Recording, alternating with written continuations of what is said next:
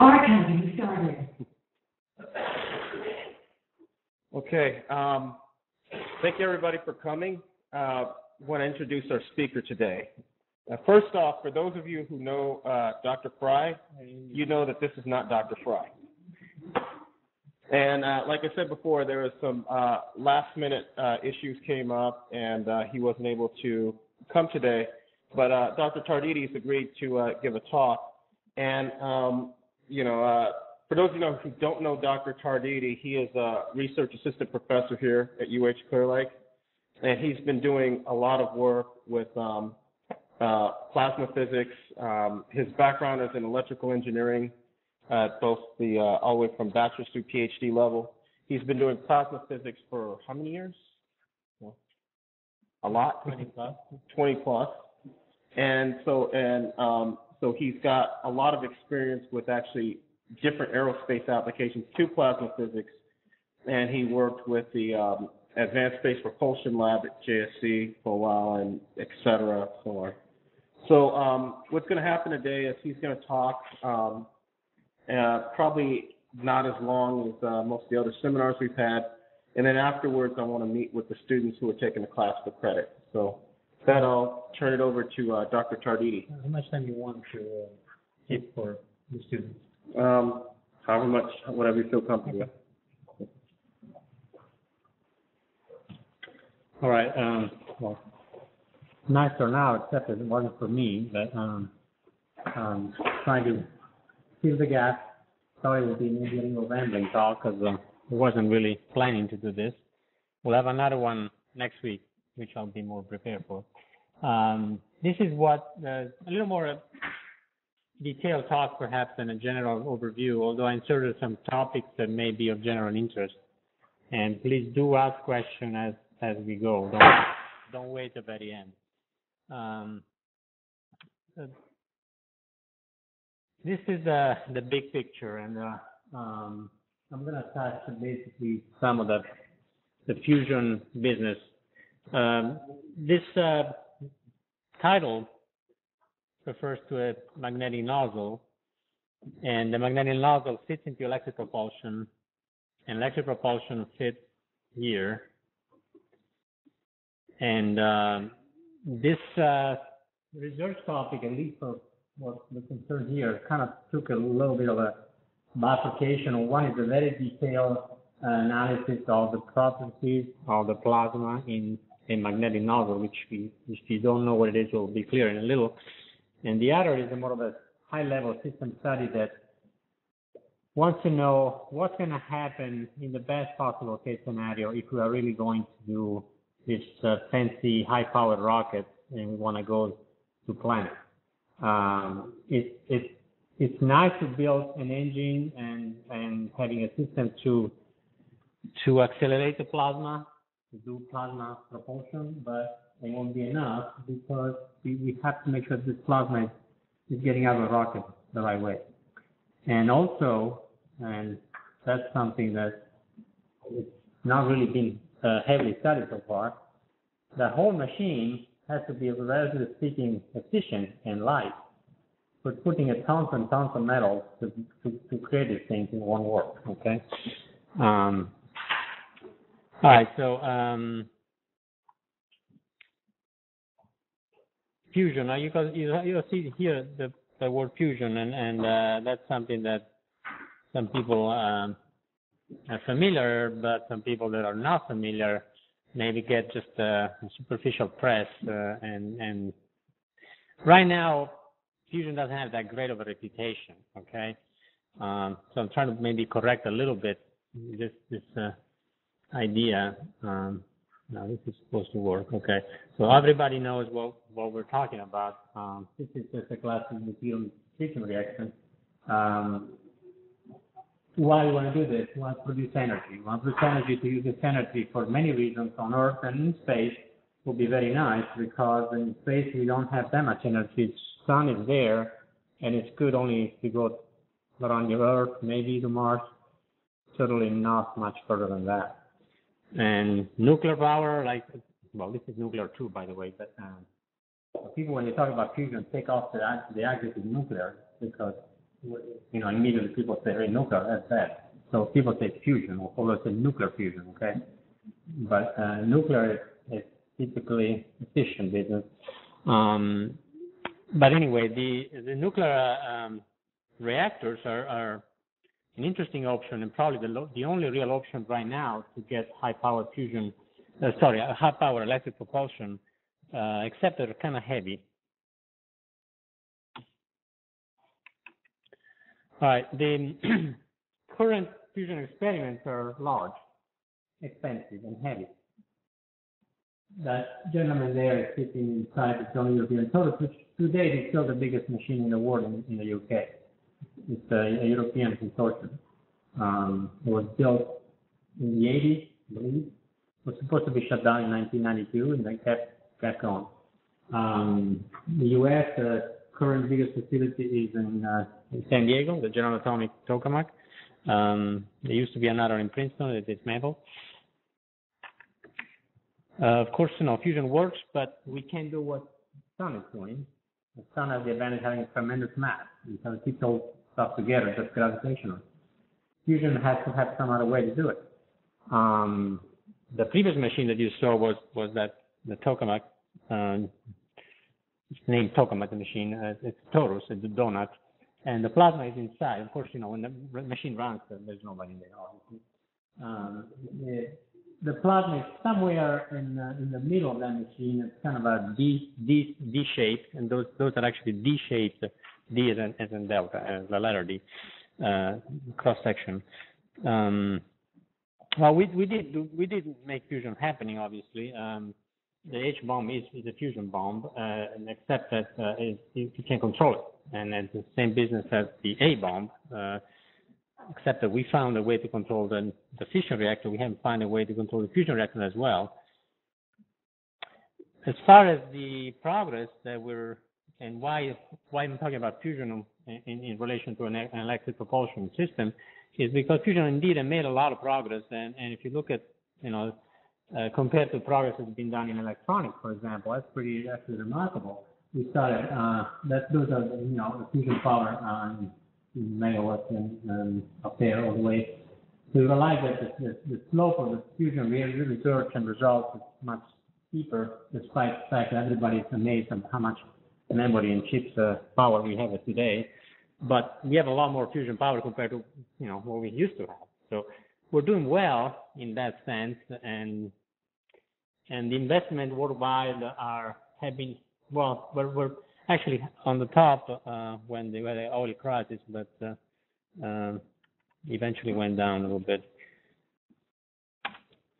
All right, so uh, this is the big picture of fusion. Now, um, what's the the bottom line that, that you, you may want to take home today is that um, th- th- there've been people have been studying, looking at the big picture system studies and see what we're going to do if we had the most best possible rockets and how far we can go. Um, and it always boils down to that parameter alpha, which is sometimes it's expressed that way, sometimes it's the opposite, but it's the same thing. It, it, it's kilogram per kilogram, kilogram per kilowatt. Uh, so the dry mass of the rocket divided by the power that you put on board. If you know that number, you can easily find a trajectory, an optimal trajectory from here to Mars to Jupiter, figure out how long it takes to get there. And uh, and then inside that alpha, everything you know about propulsion and the rocket uh, and, and uh, uh, power power station, uh, power plant, let's say, it goes in there. So uh, you can have a heavy power plant and a light rocket, or, or vice versa, or a lot of fuel and a very light engine. At the bottom line, we have to have a dry mass divided by power on board. That is good. Okay, what is good? Well, that number should be about one. If it's less, it's better. If it's greater, it's not. For electric propulsion, uh, with the uh, current uh, fission reactor technology, we're struggling a little bit. We may be even go up to five. Um, fusion rocket means fusion reactor power rocket. Um, may push it down to one of the below, and those are results of system studies that have been done, um, mainly paid by NASA. Um, Glenn, uh, Goddard, um, Marshall, Space Center.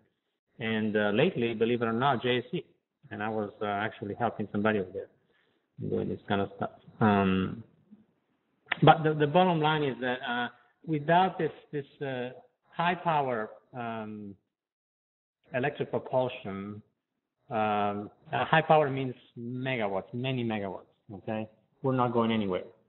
I mean, it, you can you can delude yourself thinking that we're going to explore the solar system with the conventional technology, and you could, in principle, if you build a lot of heavy rockets and send them to to orbit and then assemble there and then finally get somewhere in don't know six months or whatever, and you stay alive after you know getting bombarded by radiation and come back. But it's not a mission that you know you you envisage to be uh, appealing for for exploration. It's like you know almost like once in a lifetime kind of thing. Um, I, most people agree with me. So um, the ideal thing would be today, this is the best you can possibly imagine, okay? Um, what is called direct fusion propulsion. And, here's a nozzle, okay? Well, you see why the nozzle is there, actually critical. Uh, and so the, the study that, that I've been working on was, was uh, focused on what the plasma is going to do through that nozzle, both from the point of view of the plasma dynamics itself and from a system, study as far as seeing what energy we need to have out getting out versus the one we're getting in, and how what's going to happen to the efficiency, and what kind of a parameter constraint we have on the side of this thing. Um, will be clear maybe a little more for those that are not familiar why we have to have that system like that. But let me let me point out one thing about this, this concept of the direct fusion propulsion means that you have fusion reactor and put the sun there, obviously.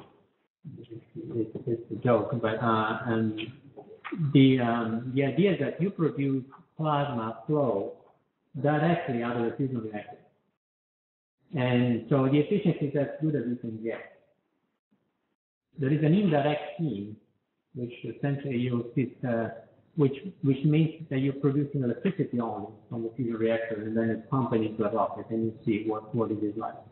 Um, so this is the best possible scenario. And that's, you know, even with this scenario, you have to really push the limits of technology and step a little bit to get down to those alphas down below below one. Right? And alpha alpha below one will, will get you, you know, trip to Mars and Jupiter, you know, in, in the month time frame, depending on the payload, of course, depending on the energy as opposed to you know year. Um, so um, with that picture in mind, we can see uh, a little couple more details. Um, so okay, so that's what I was starting from. Um, now, in, of course, the reactor has to be something reasonable. Um, this study was done back then, um, both at uh, the University of Washington and San Antonio. Um, this is called co-FRC, pseudo configuration. A plasma confinement toroidal total. It's not a tokamak, and it's got the feature that some of the sea lines naturally open up and, and get out. Okay, that, that immediately uh, presents an opportunity for plasma propulsion for some of the plasma flow will, will naturally flow out of there. Uh, so if, if, the confinement is uh, is good but not uh, but not perfect, which is always the case, some plasma will leak out. And and if you are clever enough to design the system, you get a, you get a, you get a leak of the temperature that you want, and that leak can be used for propulsion. Um, this uh, is uh, a actual experimental activity, um, and it's been going on for a while. Um, mainly, the ideas about fusion propulsion were, um,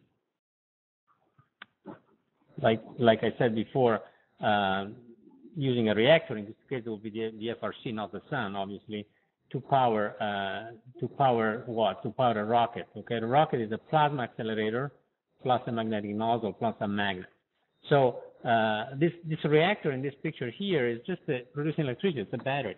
Okay, you have a very powerful light battery, you can just replace it with battery. That thing is, is just an electric propulsion system indeed, where the electricity goes uh, mainly to the plasma accelerator, and probably know about the battery project uh, here in, uh, in Houston, and that's exactly, well, without the rocket, without the reactor, obviously, uh, you accelerate the plasma, and you, you convey the plasma through a, a, a channel, and that will be the magnetic.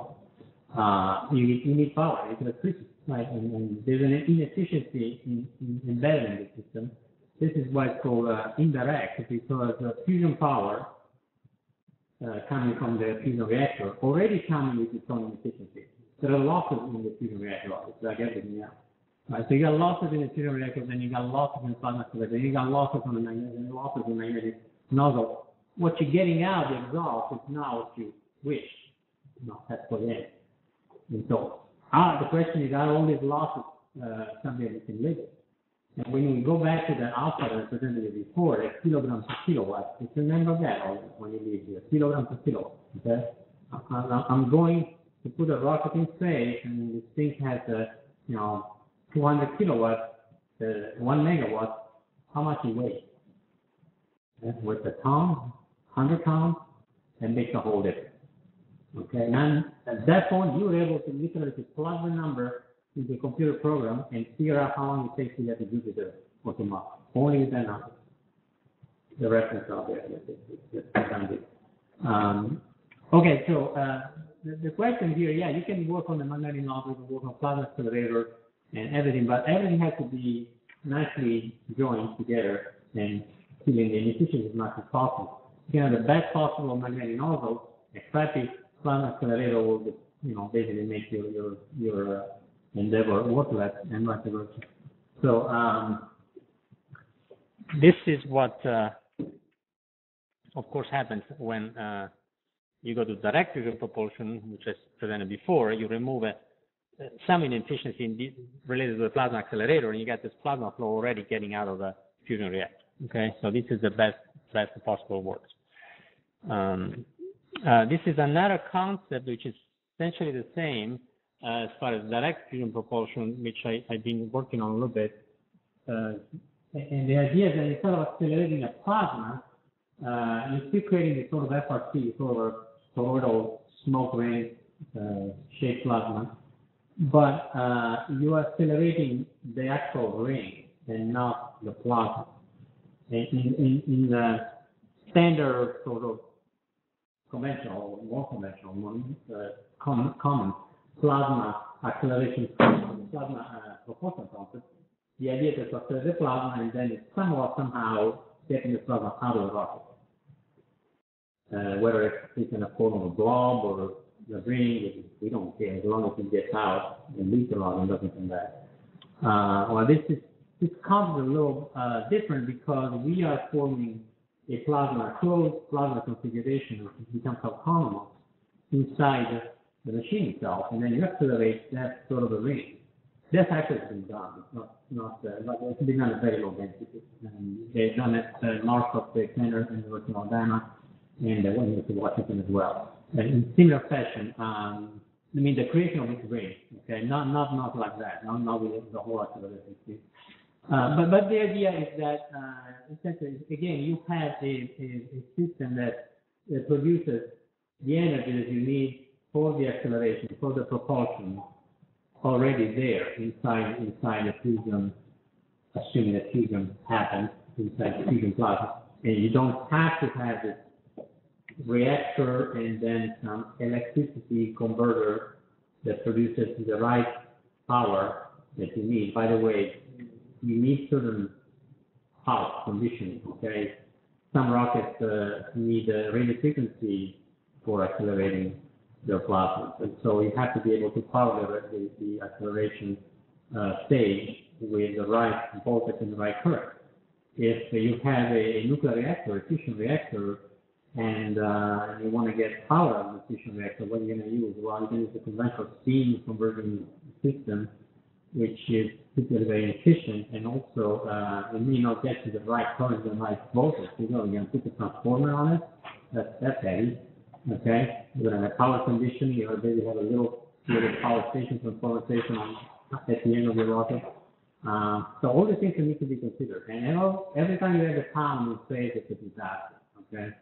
Uh, so you, you like you really want to be careful with with extending this, this thing. So the simpler, the more straightforward, the better, typically, generally speaking. All right, so um, now the question may arise naturally: Why we worry about fusion for space? We can't even do it on Earth. Okay, what's the point? I mean, it's like, uh, are we dreaming or something? Uh, well, um, there is uh, actually, uh, as of today, you can go on the web and check the latest uh, roadmap, uh, NASA roadmap. Uh, propulsion uh, fusion is being inserted. Okay, and this is the result somebody uh, a JC that we pushed hard for that, uh, which I uh, I'm, I'm I'm happy to have helped this this process. Um, so um, so okay, we still doesn't answer the question. Okay, it's uh, um, why why we do? Well, if we want to go somewhere and say two um, two two timeline for for uh, for a space mission somewhere away from the Earth orbit be you know the, the president plan been talking about going maybe to the asteroids, other people want to Mars first, and it doesn't matter. Uh, there is a convergence of opinion that we want to go somewhere besides 400 kilometers from the surface, is the space. Okay, it's you know people call it space. But, uh, it is space, and there's a, there's a lot of ions there, and it's totally empty. Um, so if we want to go somewhere there, we got to start now. Okay, not going to develop this technology in two months. So okay, fusion is not um, an option right now as, as an energy source, but um, if uh, aerospace sector gets into this, we'll have new blood, new, money, new ideas. Okay, we make fusion more efficient. We're trying to make it more efficient. Uh, the process will be streamlined. Right now, the, the, the fusion experiments on Earth are massive, heavy, take a lot of power, a lot of people, cost a lot of money. The biggest machine is being built right now as we speak in France, in near Cadarache, in, uh, uh, southwest of France, for the uh, great, great location, obviously, great place to go. Um, um, this machine is international and it costs, projected cost about uh, 10 billion euros or dollars euros. Um, um, well, we we uh, we don't we're not putting that kind of money into into into this kind of thing. We're putting money in other uh, other ventures, uh, more destructive in my opinion. And it's sad that you know ten billion dollars are there. There's even hundred billion if you want it, but we don't uh, instead not to put in there. So ten billion dollars is a lot of money sometimes. And and they're doing this, you know, humongous, which is great. I mean, I'm very happy and totally on board because so far fusion uh, research has said that bigger is better. It's more stable, more predictable, more controllable. So when they built this bigger and bigger tokamak, they were able to actually make it working pretty good. They didn't produce more energy than they consumed. They did it for a little bit, but not for, for too long. And then they got unstable. So there's a lot of indication this machine will work, but there's a way to go. Okay, and and uh, this machine, uh, as much as similar machines, are so heavy that even thinking about putting that on a spacecraft is just ludicrous. There has to be some other way. Now, if this, this aerospace actually, and defense, by the way, defense can be very interested in these kind of things. Um, uh, not because they want to go to Mars, but because they want to, they may want to maneuver assets in orbit. Assets can be anything, right? We don't know what it is. But this asset can up and down in orbit, changing the orbital plane, go at L1, come back. I mean, you can do all the things. You have fusion power, hey, you know, you can keep this heavy asset up there and move it right there where, on top of the, you know, position you need in a matter of, you know, a minute instead of sending a bomber. Well, that's, that's pretty interesting, right? And don't tell me the DOD doesn't have the money for doing this kind of stuff. Of course they do. Now, if you present a case that actually, you know, is a case, um, there is a precedent. Okay, that I think it, it, it's worth to mention. In, in electronics. Okay, uh, what happened when we went, went into the moon, we had computers and computers were heavy and you know it's a lot of power and we couldn't put them on the Apollo. So uh, so they invented the integrated circuit. And so the, the, the rush and the push were going to the moon forces force industrial development and and this could happen to season two. I mean, we have one more reason to make things lighter and better. Okay, faster, cheaper, and better. Something somebody said that before. Huh? Um, all right, so um, I've been talking about fusion plasmas and what is a plasma. Everybody knows what a plasma. Skip this. Maybe it's just a little. Um, okay, plasma is not the fourth state of matter. Okay, forget about that. It's the first.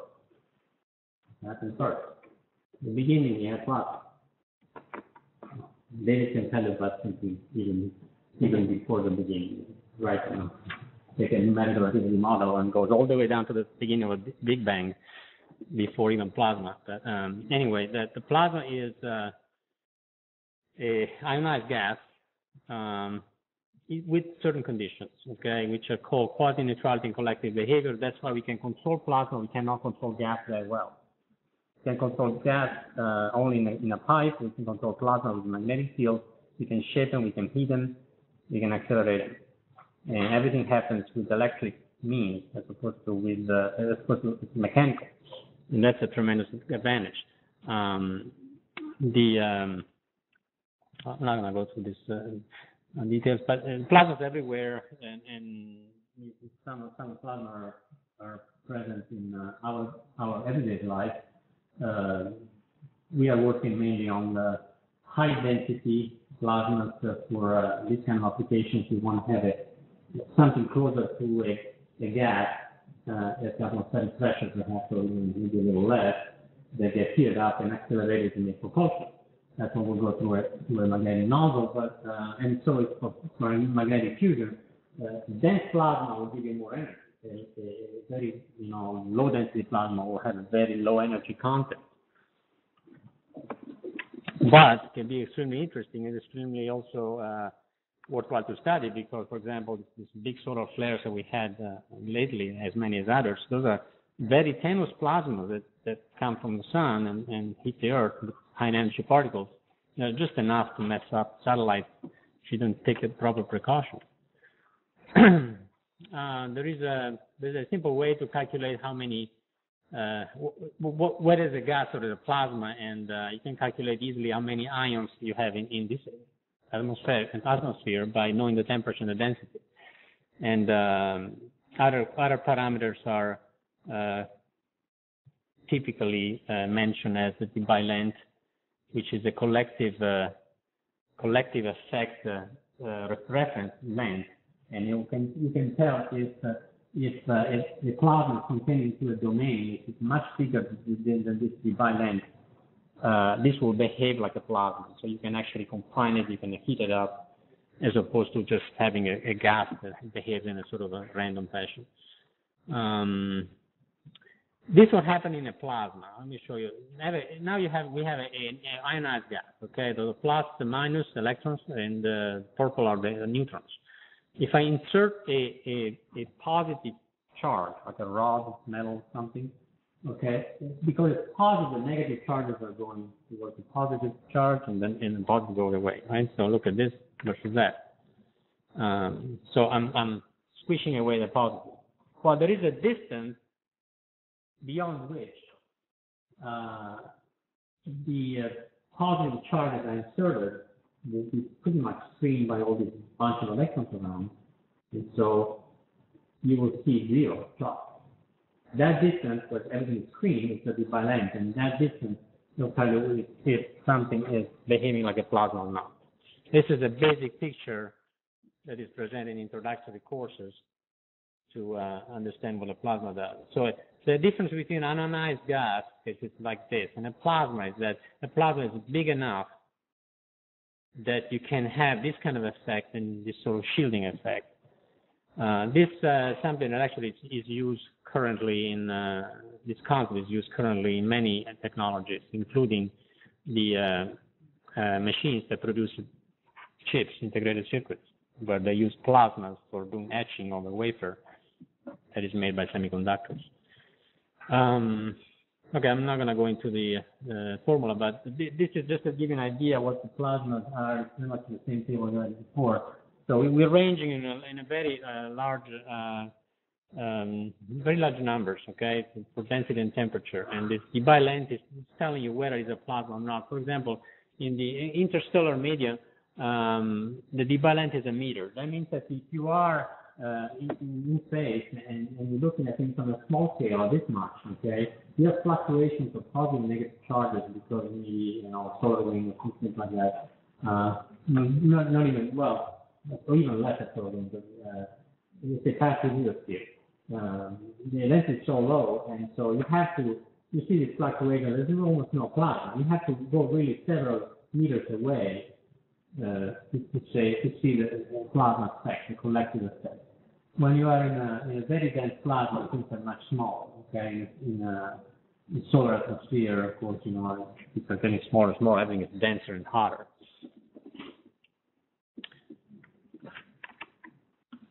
Uh, beautiful things that plasma do, they get confined, and that's why they're using we're using magnetic field. And this is really not much different from a magnetic nozzle, really. Uh, it's a mirror, but but its opening fields are what what typically magnetic nozzle look like. Uh, so the, the the plasma particle are like to spiral around the magnetic field line. So wherever the field line goes, the particle sort of go. And that's how we keep them, we keep plasma together because when they get really hot, we don't want to make them touching a, a wall or something. There will be a, a, a serious damage on the surface. Okay, so now we know everything about plasma. What happened here?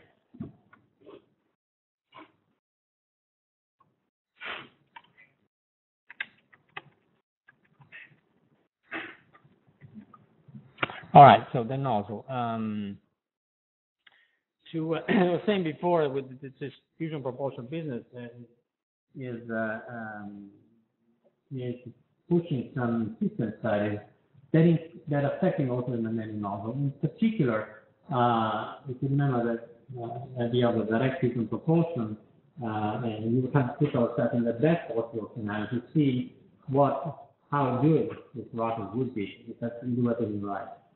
Uh, well, doing everything right, among other things, includes to have a fusion uh, reactor that is uh, is uh, very efficient and, and, and give us uh, the least problem. And um, typically, uh, when you have radiation in some form of neutrons, you have problems because the neutrons are hard to control. They are causing problems if humans are around. You have to shield them. Um, and so the, the deuterium tritium reactor reaction, the one I you before, uh, which is the best candidate for fusion on Earth, is probably not very appealing for space because we produce a lot of new neutrons. Um, these neutrons, you either have to shield them and throw them away, and you're losing a lot of energy, or convert them into electricity. And, and the only way we know to convert neutrons into electricity is to use a steam cycle, which is uh, very inefficient and heavy. That's why we go to thinking about, okay, what about an aneutronic fusion proposal? What does that mean? Means that basically there are fusion reactors with reactions that do not produce neutrons. And when when they, these elements fuse, they produce only uh, charged particles. Well, that's great because uh, we can confine the charged particles. We can even produce energy directly uh, without using a steam cycle. And um, so the best possible word is probably aneutronic fusion. Um, these are these are reactions that require a lot more energy that we currently put in, in the conventional machine, and that's one more reason why maybe aerospace can can push uh, towards a, a, little different paradigm for for studying fusion. Um, typically, these are using a deuterium helium three. Uh, which she's the one that has the most, uh, the, it's most appealing for energy production, or proton boron 11, uh, proton so hydrogen and boron 11, which is a, these are very co- conventional materials. Uh, helium 3 is actually very rare, unless you go to the moon. Uh, so proton boron 11 is and deuterium helium 3 are the two uh, reactions that are considered for aneutronic fusion power. Um, The idea is to use a high power electric thruster and uh, direct fusion propulsion. Now you know what direct fusion propulsion is, um, and and and see what you're going to do with it in terms of how you're going to produce a jet that gives you the right the right propulsion um, to generate thrust. Because ultimately you have to have something that pushes you in space. Um, and you have to understand what's happening with the, the plasma when it leaves the nozzle, because uh, uh, if it doesn't attach, if it doesn't go away, you, you gain nothing. Like if you have this magnetic system and you confine the plasma, and then the, because the magnetic field lines always close to each other, uh, if the plasma really follows the field lines like a train on a track, eventually go back to the station and started and that's bad because you're not getting no no stuff. Right? And you, you, you're keeping stuff out, and it comes back and hits you from back. You go nowhere. Um, so the detection is important, and and uh, so these studies that uh, that I'm talking about uh, are also referring to the detail of the physics and understanding how we're going to get the plasma out. Uh, at least in most of it, at least in the most efficient way. Certainly, some some of this plasma will heat up in the process of of, of expanding and, and, being accelerated. And when you have something that has a temperature and, and uh, heats up, uh, the energy that is in the perpendicular direction compared to the direction of motion is completely useless for propulsion purposes. Ideally, you would like to eject out of the magnetic nozzle a cold plasma with directed energy only in the direction of thrust this is impossible. Uh, you always have some tension, okay? The magnetic nozzle is something that will try to make it this temperature least possible and making the energy directed the most uh, that you can possibly have. But some some losses are, are intrinsic to the to the physics itself.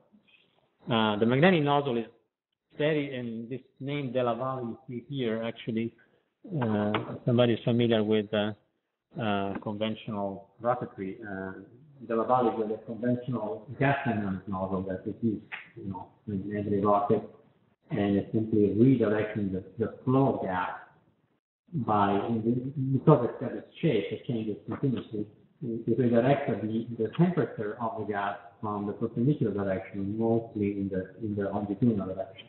Without the nozzle, the rocket tank will be extremely efficient with just blow a bunch of gas everywhere with a minimal minimal propulsion. Okay, so not very uh, uh, essential, but uh, in conventional rockets, the gas are hot, but not so hot that the metal on the nozzle cannot handle. Um, with plasma, we can afford to have just a metal touching the, the plasma because the plasma is very hot. And, and, so we have to have a magnetic nozzle, which is essentially a, a magnetic field shape. It's more or less the same way as, a conventional nozzle. It keeps the plasma also almost the same way. And, and, and it kind of does the trick of changing, turning the, the, the temperature into in direct kinetic energy.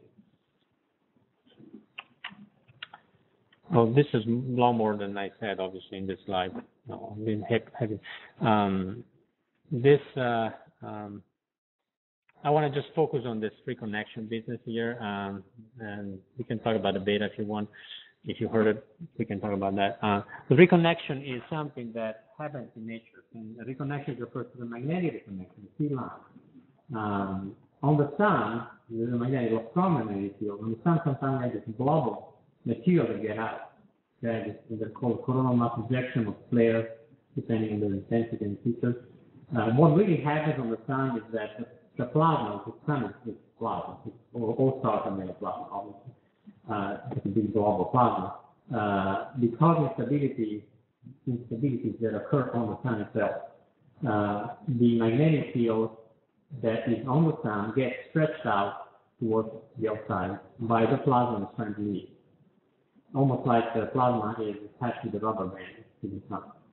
If the plasma has enough energy, if the stability has enough energy, you can stretch this, this rubber band so much and so far that the field lines close. You'll see it, in the picture in a little bit.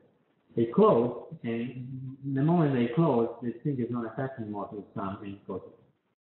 Okay, and this is more or less what get here. Okay, with this with this uh, uh, magnetic nozzle that is ejecting plasma. the physics is a little more complicated, obviously, but this is the picture. Um,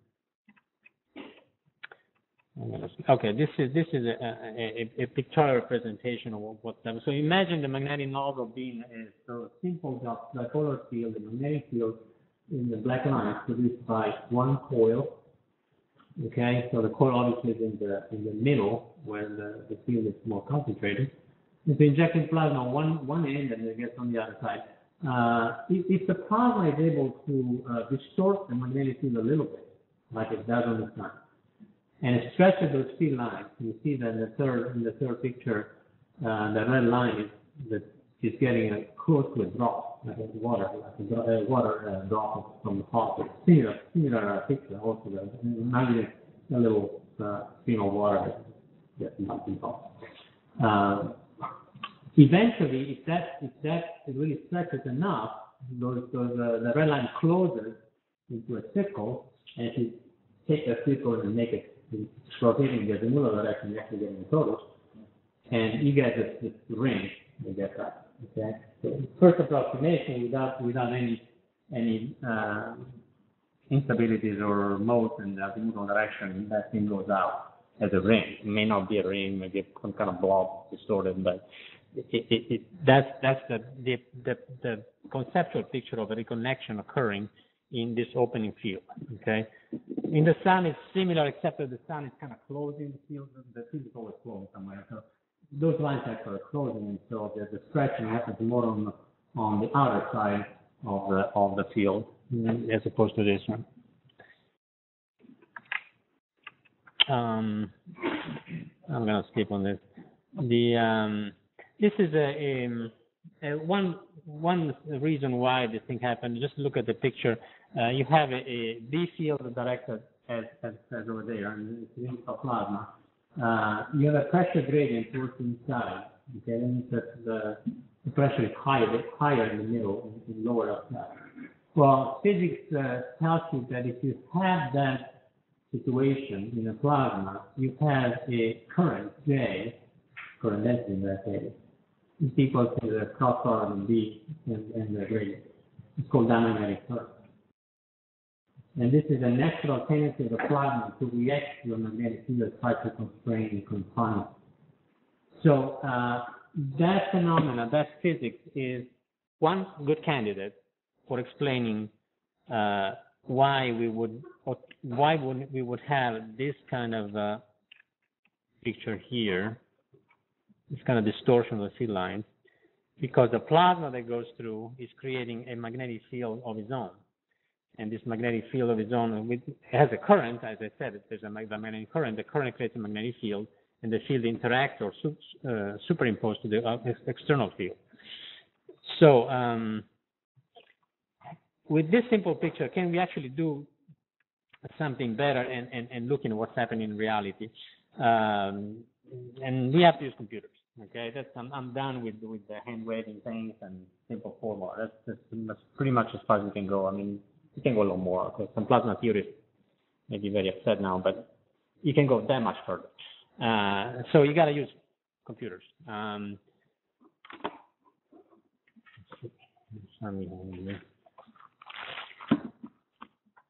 this is a general picture. Well, 10 minutes ago. You want to just wrap it up? So let me show you what uh, um, what we're doing with this uh, uh, simulation of this knowledge. Um, we have a code that is uh, an MHD code, and it uses the same the, the equation of magnetohydrodynamics, which is essentially Navier-Stokes equation, fluidodynamics plus plus electromagnetic field.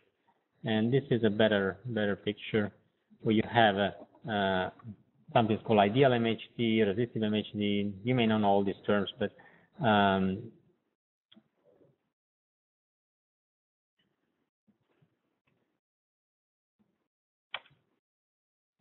with this code, um, we can actually simulate um, a, a, plasma flow.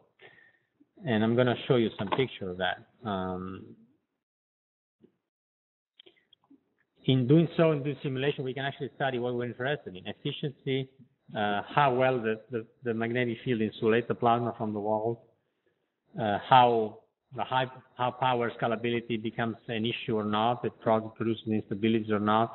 All these models are, are uh, powerful in terms of predict, predictive capabilities, and, and engineering can benefit a lot of that. Um, this is a, a, picture, a snapshot of the simulation where uh, you see a, a different colors for the density and uh, the the gray the gray black lines are the magnetic field in in a nozzle. So instead of instead of having the nice smooth uh, nozzle it's opening now, here the field lines are low low twisted, and that's because the plasma is going through, and and this this effect is actually perfectly consistent with this diamagnetic picture that I presented before.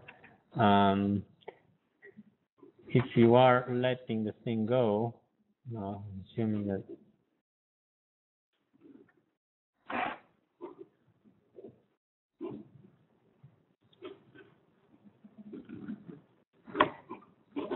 Let's see what happens here.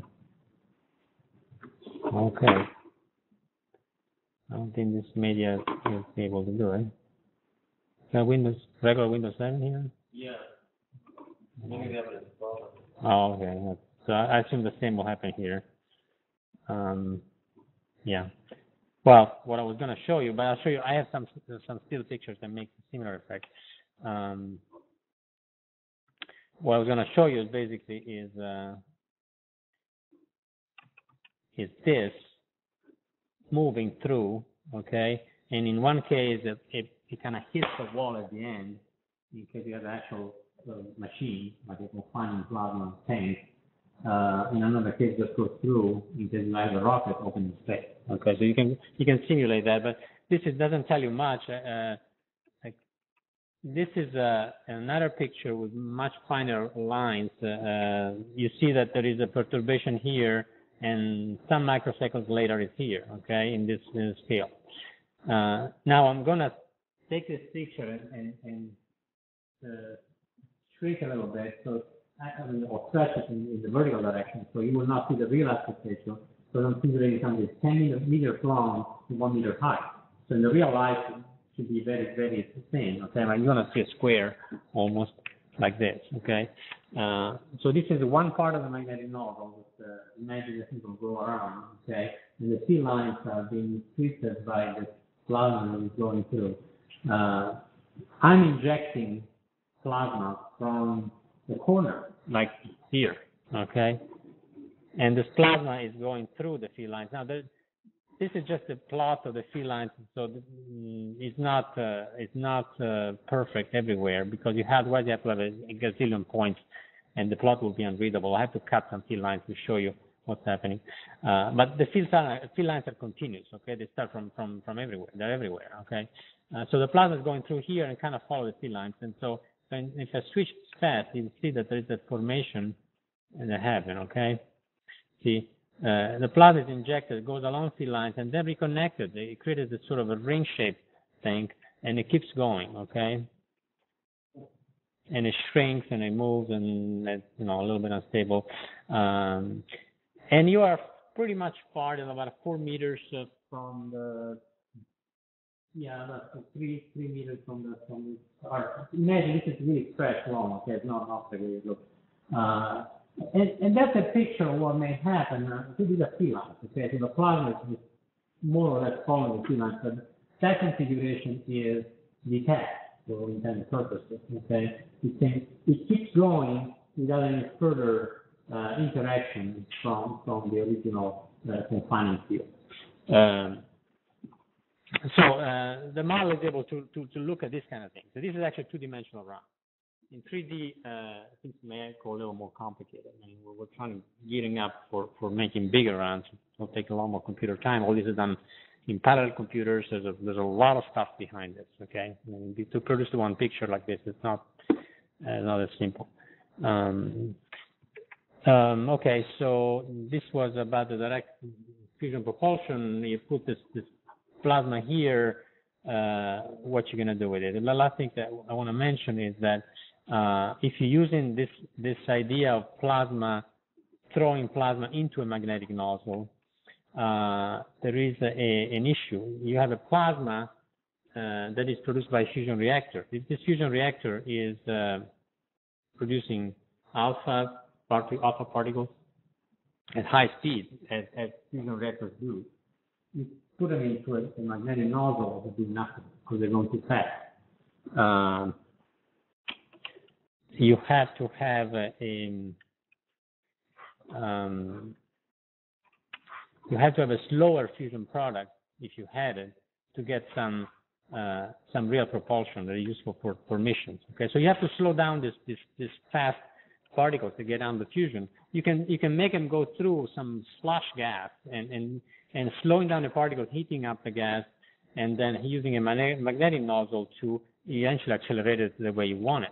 But uh, this, this this products are going too fast. They will, will go through the gas in, a- in a flash. You won't be able to get anything. So we'll try and look at what, what could be done, and one way to do it would be to inject the, particles from the fusion reactor sideways so that even going that fast, they'll start rotating around the fuel line. As they rotate, they heat up the, lower, lower speed gas, and eventually they heat up that to the right amount, and then you can put that to the magnetic nozzle. So that's, that's just to tell you what uh, what what kind of steps we, we, we need to go through to make it. This will be the optimal rocket. Okay, this will be like the best, not the best. Uh, it's, the physics is it's it's it's there to help you up to a point. You have to be careful with efficiencies, with confinements, with radiation losses. It's a lot of stuff. Uh, so when people think, you know, all right, well, we can go to Mars and build a rocket, it's not that not that, that straightforward. Um, so I'll leave you with. Um, uh, some conclusions. Uh, these are uh, research interests that we're, we're trying to push at, UHCL here with uh, collaboration with NASA when that's available, especially when they will get out of this limbo that they are right now. A lot of stuff, and um, in, we invite students into the physics program to tackle these subjects, both numerically and experimentally. Uh, there's a lot of stuff, a lot of options for uh, physics, and uh, there's a reasonable opportunity there because uh, I don't think things can go as bad as they can they're right now for, for aerospace. I, mean, I, I think we're just scratching the bottom now. So if somebody gets into it right now, we'll find probably a, a happy situation. Any questions?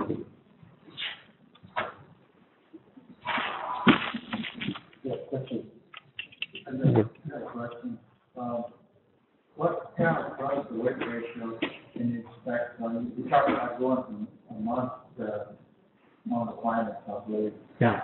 I, what, what would be like, uh, thrust, thrust to weight ratio, uh, that you would expect using that, uh, that last method, I guess, of trying to force plasma out back in the normal? To go to, to Mars or to, to Yeah, it's less than one, I guess, it's up to weight ratio, isn't it, when you're in? Right, right. For, for fusion, if you, if you do the numbers, you know, and, and you really have to push it that you can get about one or maybe less, you know, depending on what kind of, what kind of fusion reactor you were able to actually build, or what kind of efficiency you get. So, Yeah, I'm not talking about the, the mass,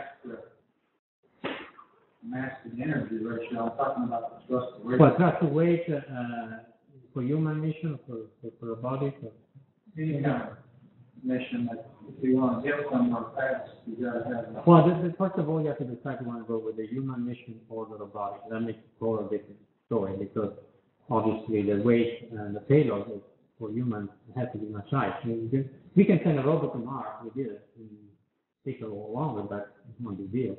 Uh, if we're talking about mission, human mission, you know, imagine what we have. I, I, I- don't know the number thrust uh, from Earth. I don't even think about thrust from Earth. I mean, it's not from uh, high orbit, perhaps you're saying. Yeah, how, yeah, I know you got a problem going from Earth to orbit, but I'm talking about orbit to orbit, for example. Here, let's say a manned mission from Earth orbit to Mars orbit. From Geo, from Geo to uh, Geo in- on Mars. Geo, in like one month to three, I think, Dr.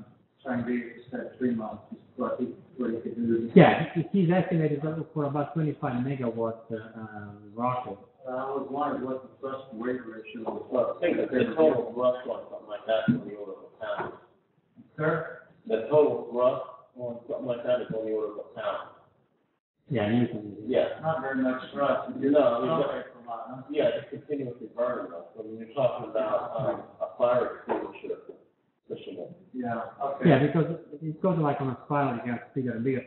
The point is that it's not really the right question to ask, and it- it- it- because you need to think in terms of what mission you want to achieve. Okay, if you want to achieve the, the straight, straight mission, but really a straight line from the, the fastest possible, okay, you, you need a lot of power.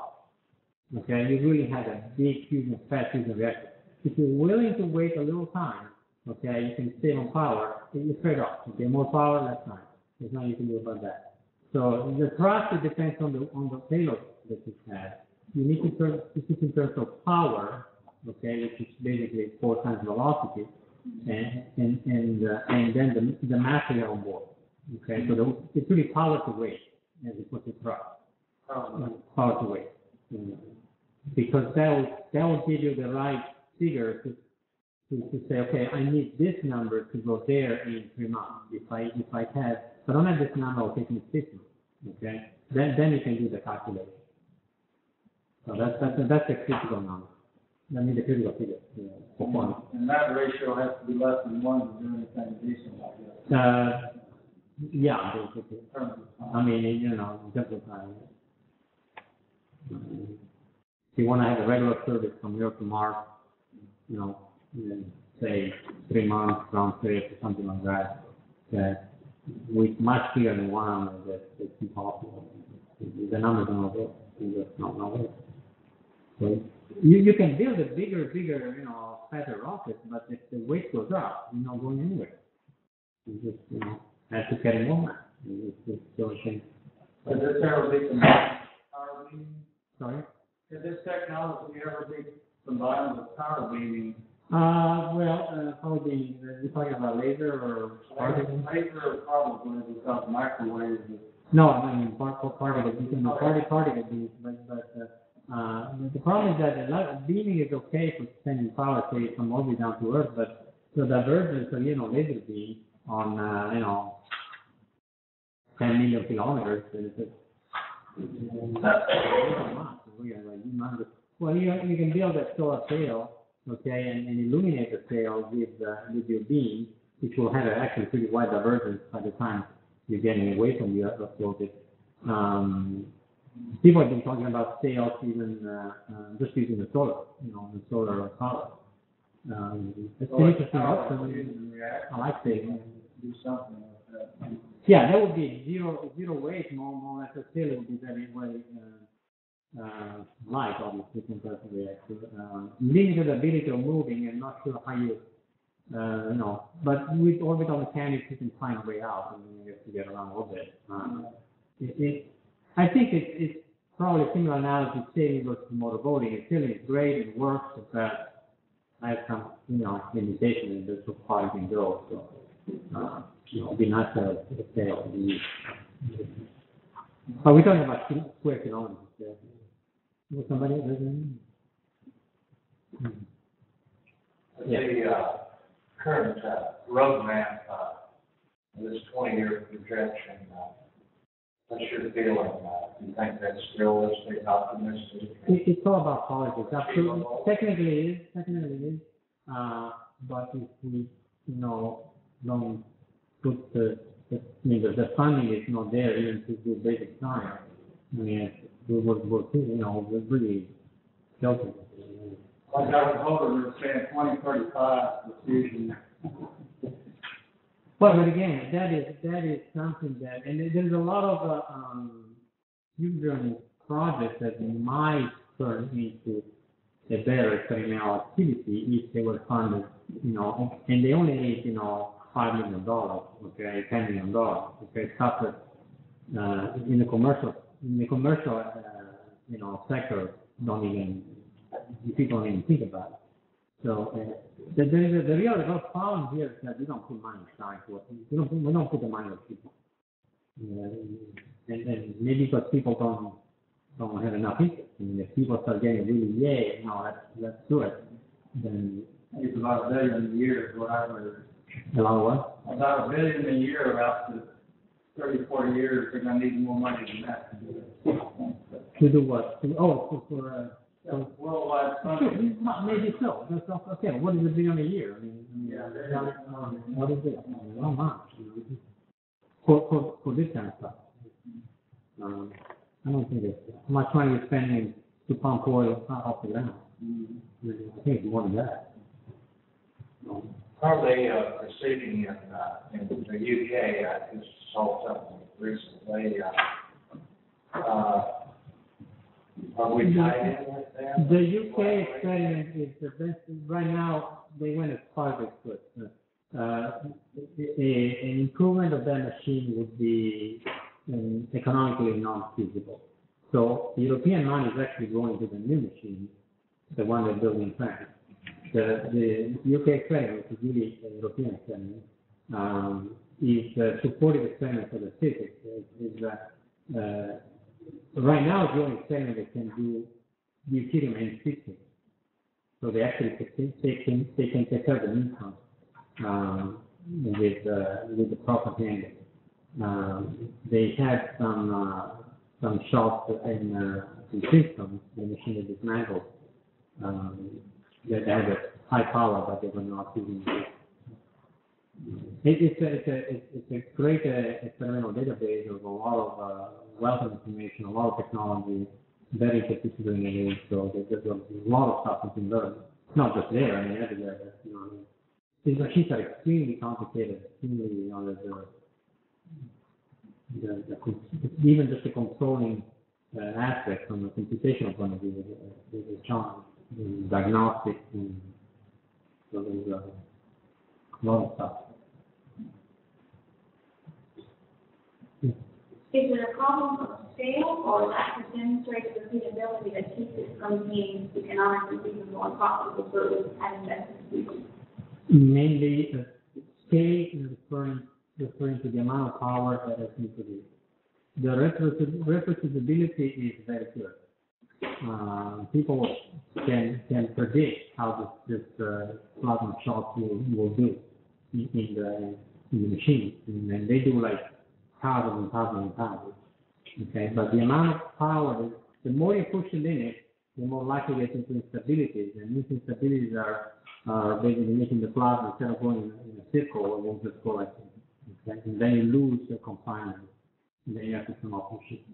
So we were not being able to reach a steady state long enough to produce enough power to to make the machine run and getting some net power out. And with this, well, that's that's that's the bottom line. And even even with that, even with these machines that we have right now, the delta uh, is not really that high with the present state because we, we're trying to get just a little past the amount of energy we're putting in. Okay, once we reach that point, then then there's basically a new a new physics and you just studying how this plasma you know fits together and how burn called burn is not burning, uh, how it's just living you know in this state of producing energy more than consuming. Um, but you know that's that's the low low to go. Again, it's, and, but the, the real stuff is the money. Okay, it's, it's money. The, the amount of money that's being put, in, it's been a lot, you know, compared to other things, but too little compared to others, you know, really that much. The, the current U.S. fusion, fusion budget, the of Energy, is four hundred million dollars. For the whole United States investment in fusion. Whole, whole thing, that is universities, national labs, and so, Is that, all coming out of DOE? Really? The Department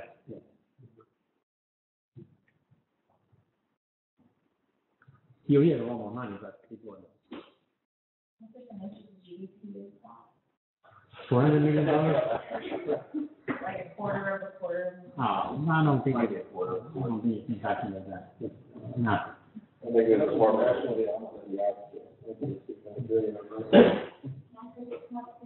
What, nineteen million? Yeah, almost twenty billion. It's not fixed at nineteen.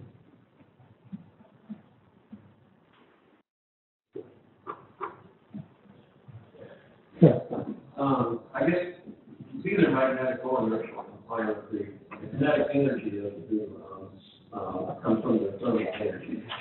Um, so that means, you know, because of the Maxwell Boltzmann distribution, there's always some fraction have enough energy to actually use. There was a, sometime in the past, there was an alternative concept that was, um, to just accelerate beams of neurons and collide them directly like you would in a particle. Yeah, I'm very familiar with that. Is that, that ever anywhere, or? Um, they did go somewhere, um, mm, but, um, the best, uh, the best, uh, interesting enough, the, the best experiment on that kind of approach to fusion right now is privately funded by venture capitalist investors. And they keep everything very quiet.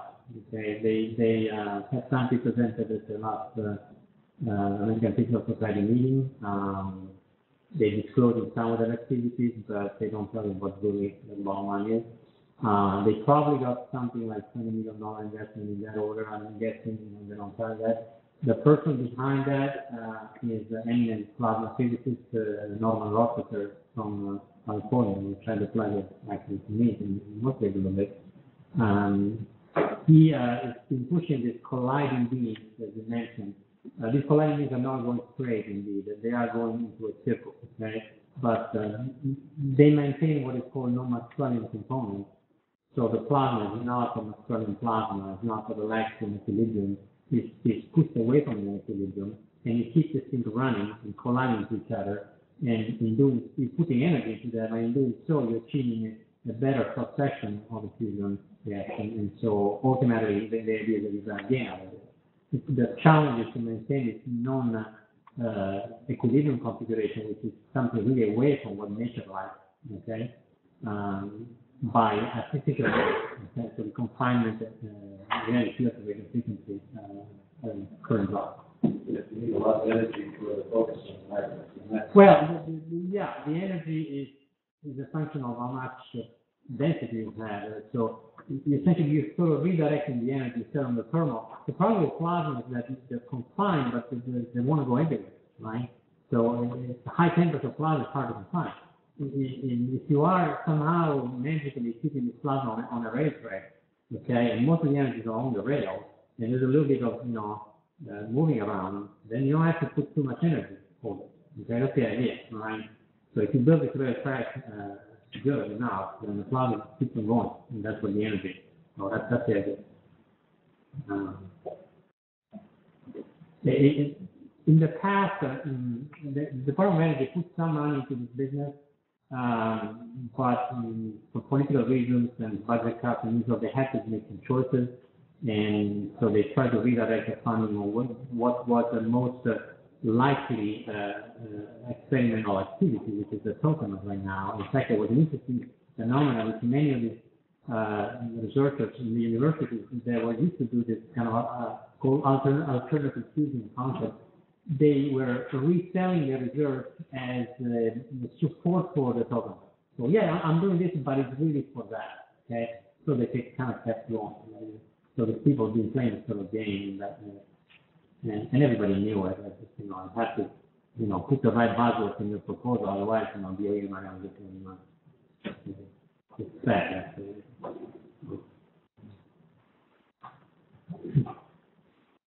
Any other questions? All right, let's take our speaker.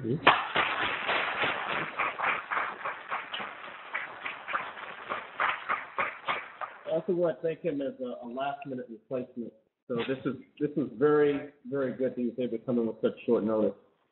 So, um, Yeah, uh, also, I want to be able to meet with, um, the students who are taking the course for, um, uh, the students who are signing